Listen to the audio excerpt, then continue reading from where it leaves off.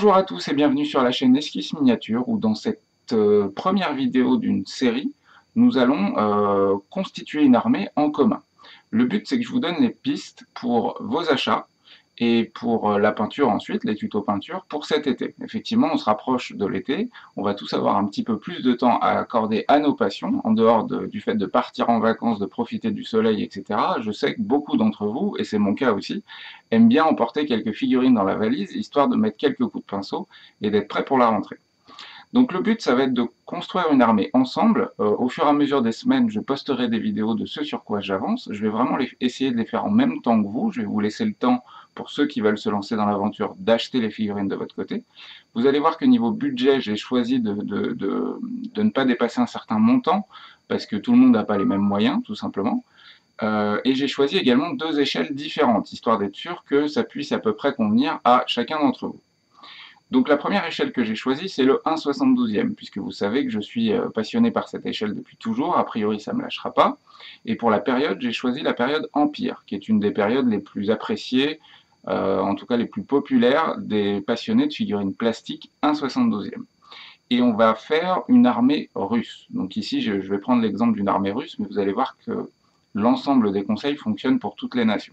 Je vais vous conseiller sur les boîtes à acheter, euh, les marques que je vous conseille, et puis ensuite sur la peinture. La deuxième échelle que j'ai choisie, c'est évidemment le 28 mm, puisque c'est aussi une échelle très très jouée, et c'est pour Bolt Action, puisqu'il cartonne, et euh, pour de bonnes raisons. C'est un très bon jeu à la Seconde Guerre mondiale, et on va, on va concevoir ensemble ici une armée de para allemands. Euh, l'avantage de l'armée de para allemands, c'est qu'elle ne nécessite pas beaucoup de figurines, puisque ce sont des figurines d'élite, en plus, on peut se faire plaisir un petit peu sur la, sur la peinture parce qu'il y a du camouflage, il y a des poses, il y a beaucoup de figurines métal, donc c'est de la très belle figurine.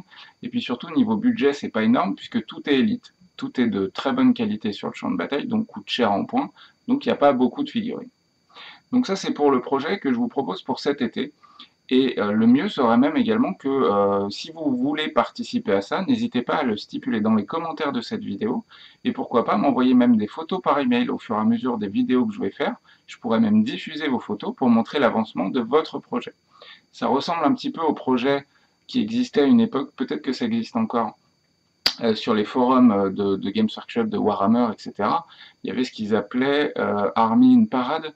Donc c'est un peu l'équivalent, mais en, historique, et puis dans deux échelles différentes, histoire de, convenir à tout le monde. La première chose sur laquelle nous devons nous mettre d'accord, c'est le budget. Comme je l'ai précisé un petit peu avant, tout le monde n'a pas les mêmes moyens, donc le but, ça va être de faire des budgets relativement bas. Tout est relatif, puisque le 1,72e coûte bien moins cher que le 28 mm, donc les budgets seront différents pour les deux échelles. Dans le cas du 28 mm pour Bolt Action et donc pour l'armée allemande, j'ai décidé d'allouer un budget grosso modo de 100 euros à la louche. Hein. On est peut-être un peu moins, peut-être un peu plus, ça va dépendre de si vous avez des promos, etc. Donc pour 100 euros, vous pouvez avoir grosso modo une armée de 1000 points pour jouer à Bolt Action. Le meilleur moyen, c'est de passer dans un premier temps par les boîtes d'armée qu'il existe sur le site de Warlord Games. Euh, je crois qu'il coûte entre 80 et 100 euros, donc on est pile poil dans le budget alloué. Et à l'intérieur, il y a tout, absolument tout ce qu'il vous faut pour faire une armée à 1000 points. Euh, cependant, c'est vrai que si vous voulez adapter un petit peu votre armée à ce que vous voulez, vous pouvez à peu près faire la même chose en constituant votre armée pièce par pièce, donc en achetant chaque boîte et chaque blister. Ici, c'est ce que j'ai fait, et euh, j'ai donc choisi d'acheter plusieurs boîtes différentes. Donc déjà, dans un premier temps, euh, la chose qu'il faut pour une armée de bolt action, euh, c'est un, commandement, donc un HQ, qu'on appelle le headquarter. Donc j'ai décidé d'acheter un blister de HQ pour, euh, pour l'armée allemande. ensuite, la chose indispensable, c'est de, des soldats. Il faut de la troupe, puisque je rappelle que dans les critères de base de sélection d'une armée de bolt action, il faut deux unités d'infanterie. C'est le strict minimum. Un QG et deux unités d'infanterie. Donc, il vous faut une boîte de Fallschirmjäger, donc des, euh, des paras euh, allemands. À l'intérieur, il y a une vingtaine de figurines, donc vous aurez de quoi faire deux, voire trois, voire quatre escouades, en fonction du nombre de figurines que vous mettez par escouade. Ici, c'est l'ancienne version, ce sont que des figurines métal. Je l'avais en stock et ça fait un moment que j'avais envie de la peindre, mais elles, existent aussi, euh, je crois qu'elles existent même en plastique maintenant. Euh, mais vous aurez sensiblement le même nombre de figurines à l'intérieur, une vingtaine de figurines. Donc ça, ce sera la base de votre troupe. Ensuite, pour le plaisir des yeux, on va y mettre un char. Personnellement, je n'aime pas trop jouer les chars trop lourds parce que je trouve que ça a tendance à désavantager un petit peu le jeu. Et surtout, au niveau allemand, il y a vraiment du lourdingue. Donc si en face, il n'y a pas de l'anti-char violent, euh, la partie est parfois un petit peu déséquilibrée. Donc je, mets volontairement, et même dans toutes les armées que je fais, des chars plutôt légers.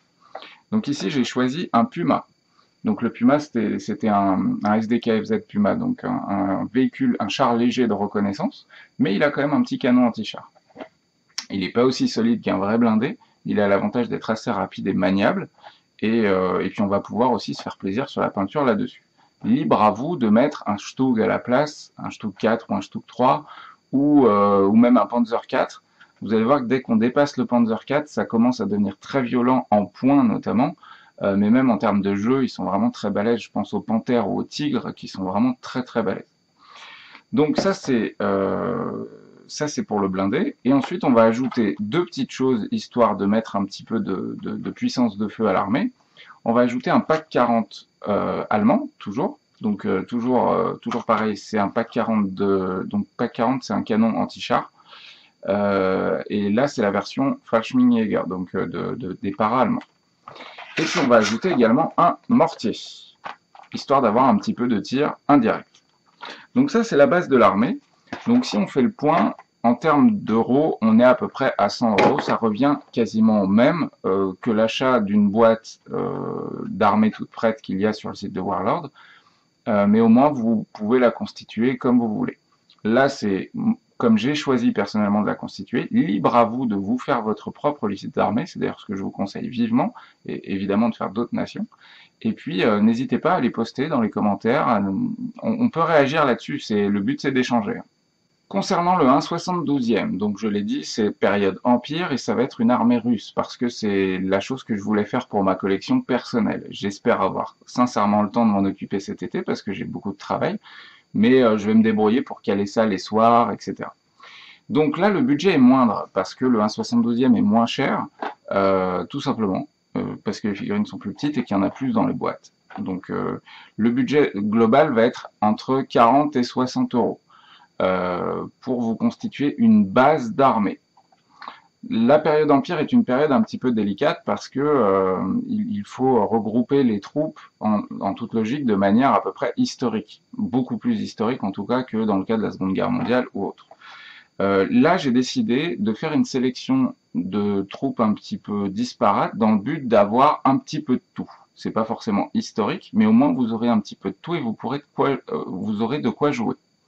Euh, évidemment, ces choses, là c'est des Russes, mais vous pouvez transposer ça en français, en anglais, en autrichien, ça marche aussi, c'est pareil. Donc déjà, la première chose à acheter dans le cas du 1,72e et d'une armée russe ou autrichienne, puisque là la boîte fait les deux, c'est chez Italieri. Cette boîte-là, elle est réellement magique. Les figurines sont absolument splendides à l'intérieur et euh, vous n'aurez pas besoin de tout, clairement pas de tout. Vous aurez besoin peut-être que d'une dizaine de figurines à l'intérieur alors qu'il y en a euh, qu'il y en a une quarantaine. Euh, mais par contre, c'est indispensable pour avoir des figurines qui aient de la gueule au niveau de vos QG.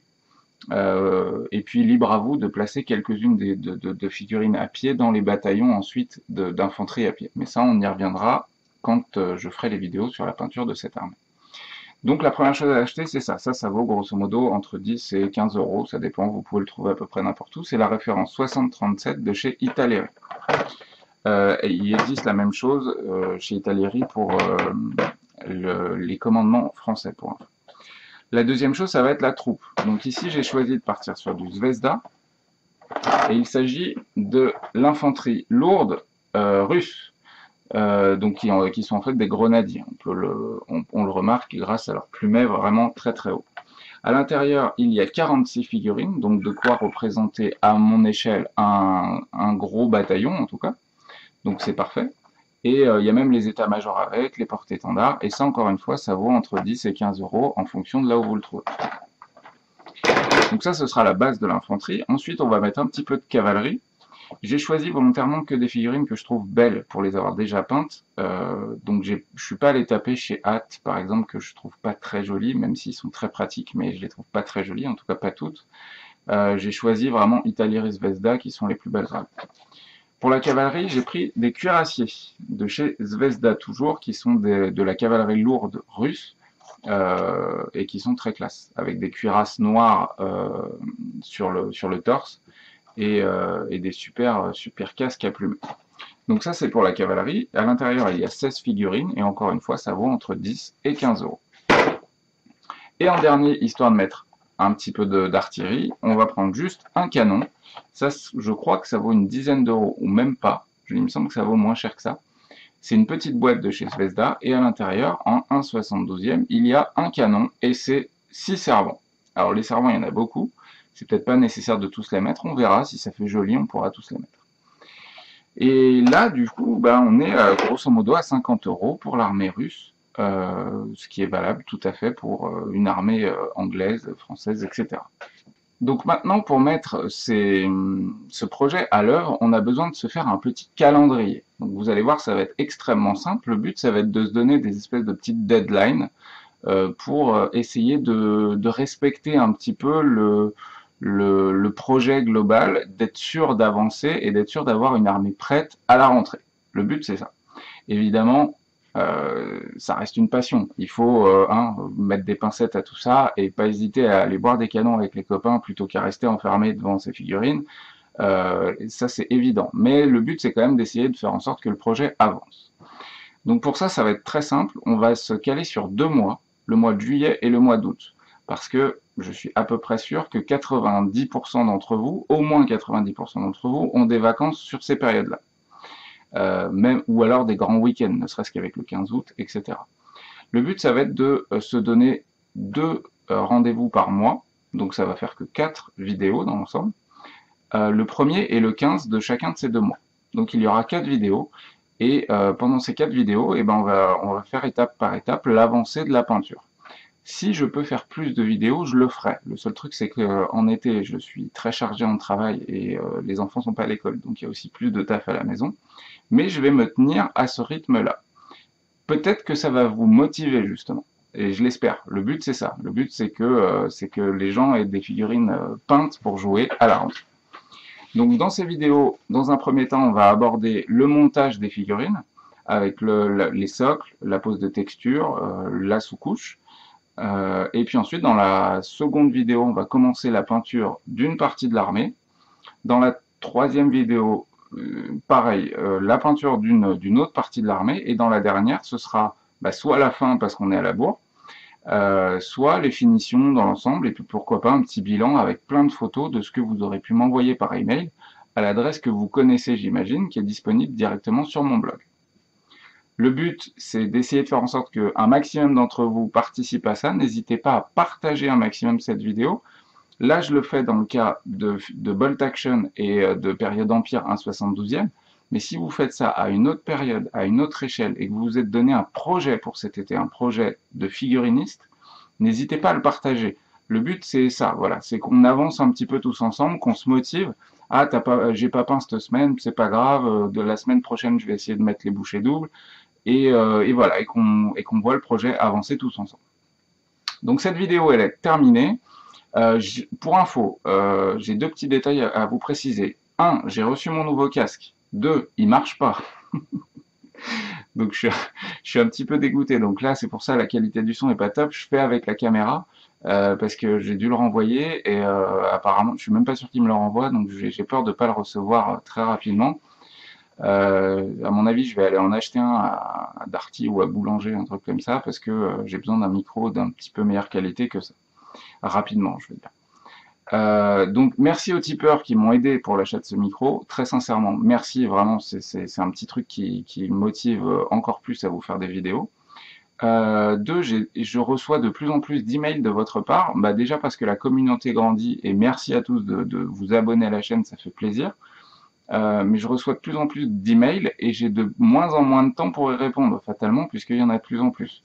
Euh, donc ne m'en voulez pas si je ne réponds pas, c'est juste que soit vous me partagez une expérience à vous et c'est un plaisir de vous lire à chaque fois, mais j'ai rien à répondre. C'est juste vraiment cool de voir votre expérience, c'est juste que je peux pas passer trop de temps à y répondre, euh, parce que sinon j'y passerai ma vie, tout simplement. Euh, mais n'hésitez pas à en envoyer. Euh, si je peux y répondre, j'y répondrai dans tous les cas. N'oubliez pas, comme d'habitude, un petit pouce si la vidéo vous plaît. J'espère que ce projet va plaire à certains d'entre vous. Pour les autres, bah, tant pis, c'est pas grave. On se retrouve dans tous les cas en septembre prochain pour des tutos, etc. Là, le but aussi de cette série de vidéos, ça va être justement d'enchaîner les tutos avec deux thèmes bien précis. On se retrouve très vite pour des nouvelles vidéos. Et puis euh, d'ici là, je vous souhaite bonne peinture à tous et bon jeu. Ciao, ciao